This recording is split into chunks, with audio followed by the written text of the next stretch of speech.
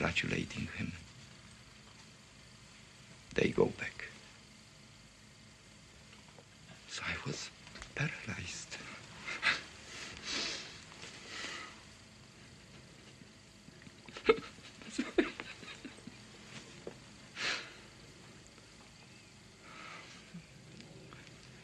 so then Jewish woman, probably she recognized me, I don't know that I'm not a Jew. She embraced me. Go, go, it doesn't do you any good. Go, go. So we left the house. Then we left the ghetto. So then he said, You didn't see everything. You didn't see too much. Would you like to go again? I will go with you. I want you to see everything. I will. Next day we went again. The same house, the same way. So then again, now I was more conditioned. So I felt other things. Stench, stench, dirt, stench.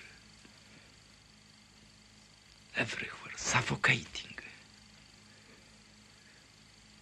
Dirty streets. Nervousness, tension.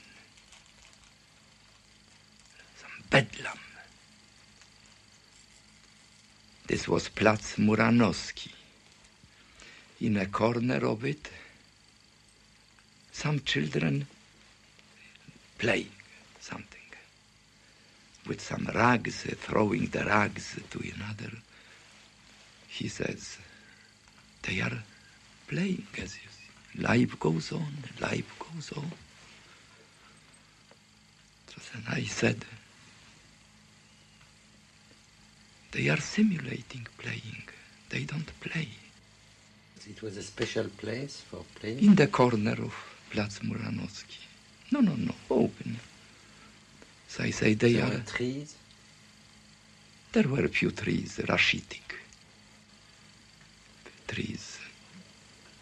So then we just walked the streets. We didn't talk to anybody. We walked probably one hour. Sometime he would tell me, looked at this Jew, a Jew standing, without moving.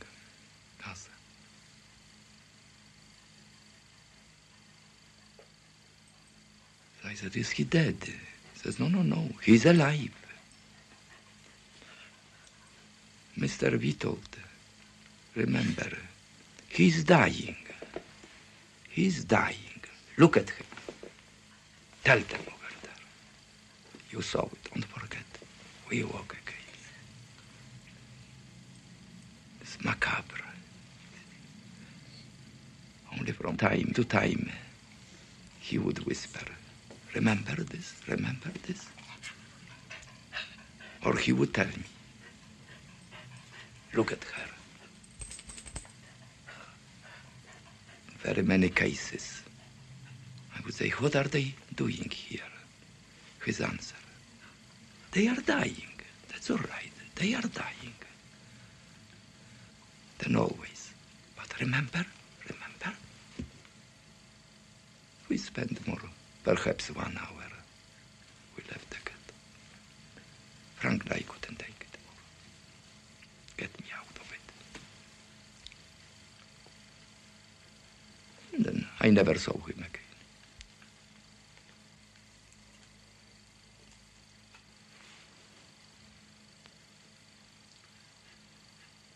I was sick.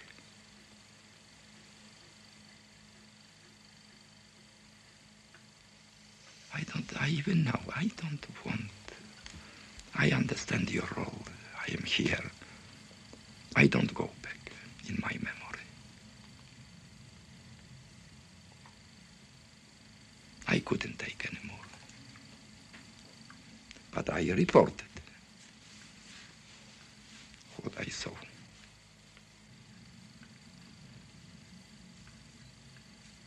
Yes, it was not a world. It was not a part of humanity.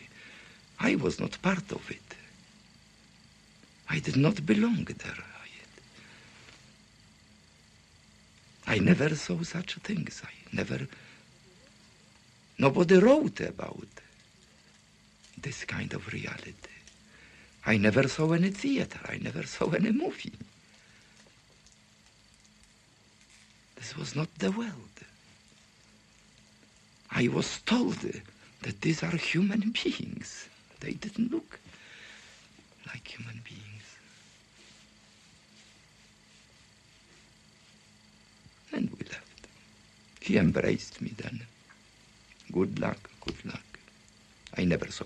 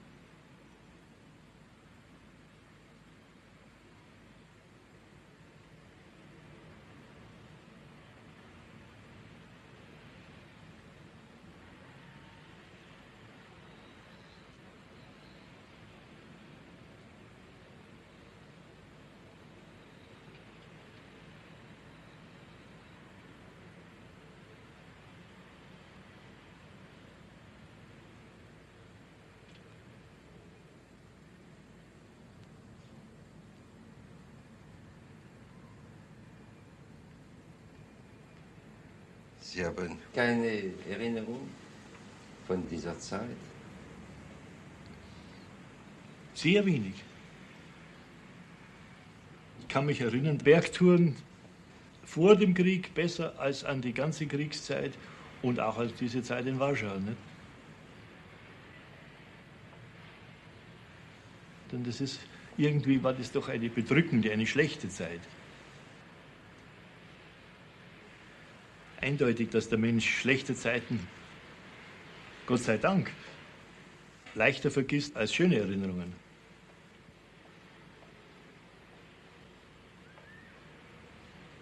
Die sind verdrängt, nicht?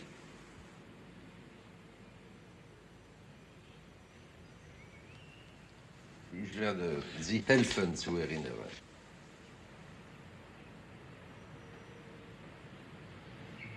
Sie waren in Warschau der äh, Assessor von äh, Dr. Auerswald. Ja, Dr. Auerswald war äh, Kommissar für den jüdischen Wohnbezirk in Warschau. Dr. Grassler.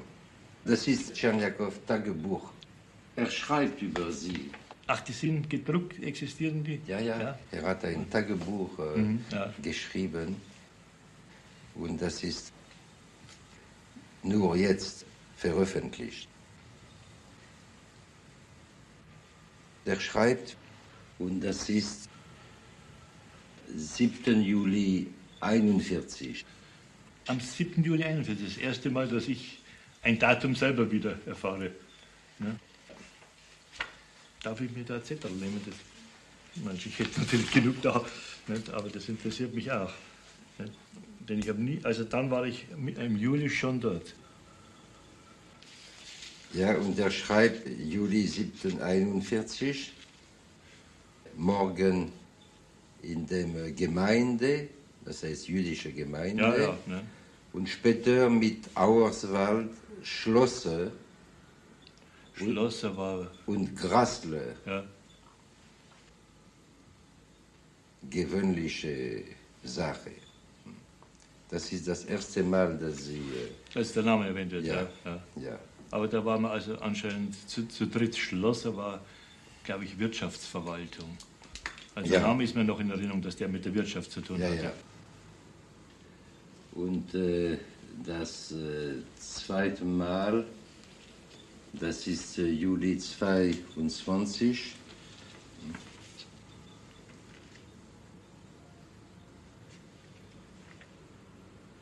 Hat er jeden Tag festgehalten? Ja, Ja?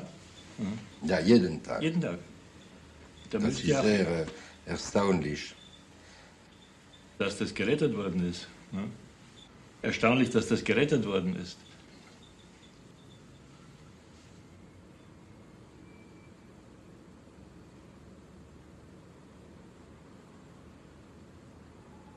Adam Czerniakow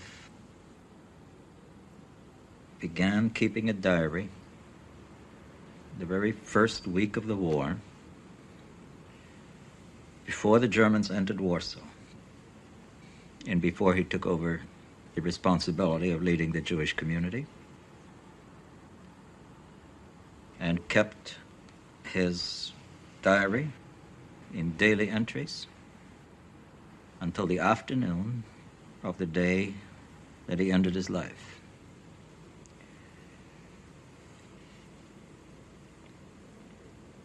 He left us a window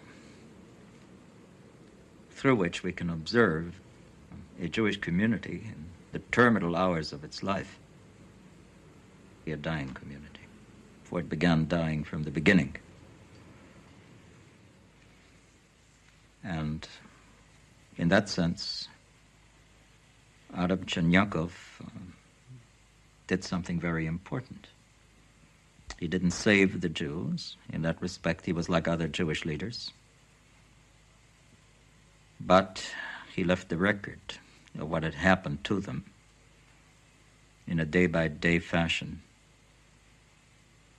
And you could see that he did all this on top of working a seven day week, for he was a man without vacations without any day off. And yet, every day, uh, almost every day, he had an entry. You might record the weather, where he went in the morning, and then all the things that happened. But he never failed to write. That was something that moved him, pushed him, compelled him throughout the years almost three years of his life under the Germans. And in that sense, uh, perhaps because he wrote in such a prosaic style, we now know what went on in his mind, how things were perceived, recognized, reacted to. And we even know from what he didn't say just what it is that went through this community.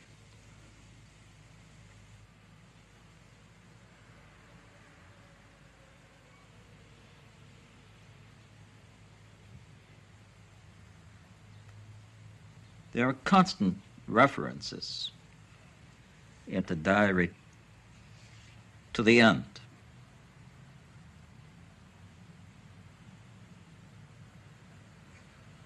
He talks in terms of Greek mythology, and he refers to himself as wearing a poisoned cloak, as Hercules once did.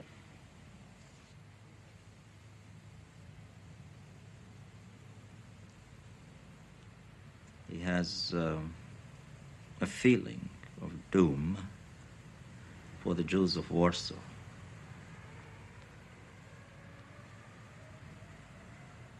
And there are remarkable passages in the diary that illustrate what he meant.